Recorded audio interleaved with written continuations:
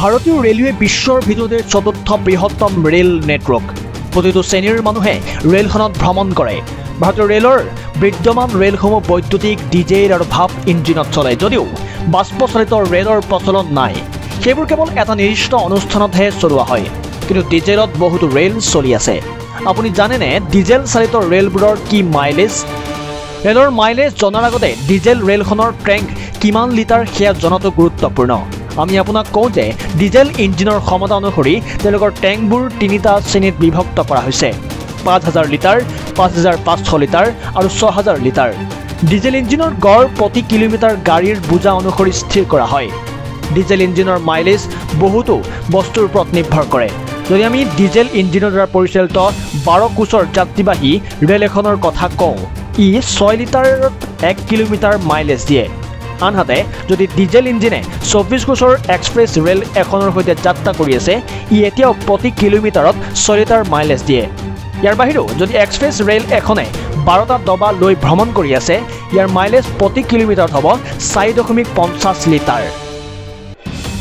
যাত্ৰীবাহী ৰেল আৰু এক্সপ্ৰেছ ৰেলৰ মাইলেজৰ মাজৰ পাৰ্থক্যৰ কাৰণে যাত্ৰীবাহী ৰেলখন সকলো ষ্টেচনত চলে। ইয়াৰ বাবে ই অধিক ব্ৰেক আৰু এক্সিলেটৰৰ ব্যৱহাৰ কৰিব লগা হয়। এনে পৰিস্থিতিত এক্সপ্ৰেছ ৰেলখনৰ তুলনাত যাত্ৰীবাহী ৰেলখনৰ মাইলেজ হ্ৰাস হয়। একে সময়তে এক্সপ্ৰেছ ৰেলখনৰ ষ্টপ যথেষ্ট কম আৰু সেইবোৰ ব্ৰেক আৰু এক্সিলেটৰৰ ব্যৱহাৰ হ্ৰাস কৰি তোলে। আপুনি নিশ্চয় লক্ষ্য কৰিছে যে ৰেলখন ষ্টেচনত যিমানেই দীঘলীয়া সময় ৰখাই থোৱা নহওক ইয়াৰ ইঞ্জিন অফ নহয়। ডিজেল আৰু ইঞ্জিন চলাই ৰখাৰ আঁৰত দুটা আটাইতকৈ ডাঙৰ কাৰণ আছে। প্ৰথম কাৰণটো হ'ল ডিজেল ইঞ্জিনৰ শক্তি অফ কৰাৰ পিছত ব্ৰেক পাইপৰ চাপ যথেষ্ট হ্ৰাস পায়। যাৰ বাবে একে সমতালৈ ঘূৰি আহিবলৈ দীঘলীয়া সময় লাগে। ইয়াৰ বাহিৰেও আন এটা কাৰণ হৈছে যে ডিজেল ইঞ্জিন আৰম্ভ কৰিবলৈ সাধাৰণতে বিছৰ পৰা পঁচিছ মিনিট সময় লাগে। সেয়েহে ডিজেল ইঞ্জিনটো অফ কৰাৰ সলনি চলাই ৰখাটো সঠিক বুলি গণ্য কৰা হয়।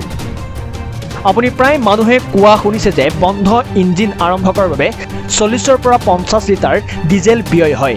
গতিকে আমি আপোনাক কওঁ যে ইঞ্জিন আৰম্ভ কৰোঁতে ডিজেল খৰচ কৰা নহয় ই মটৰ চাইকেল বা গাড়ী আৰম্ভ হোৱাৰ দৰেই আৰম্ভ হয়। News text times Guwahati.